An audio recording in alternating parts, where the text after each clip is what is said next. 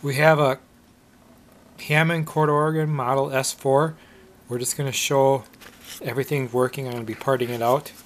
It has this switch here. This would actually turn it on. If we push it up, the organ will turn off. Now she's going to pull it down. And there the light indicator shows that. But everything works well.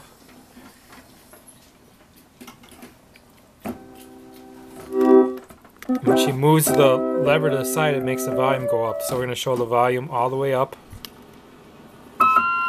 and softer. Okay. And then we're going to show the bass pedal. It has only two pedals on the floor here, but you have to push these different chords.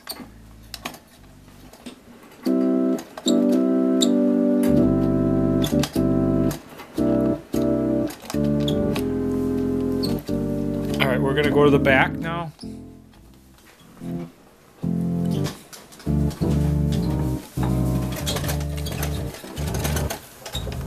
Here's the tubes glowing.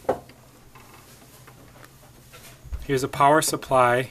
There's a main speaker. We're turning off the light here. You can see the tubes glowing.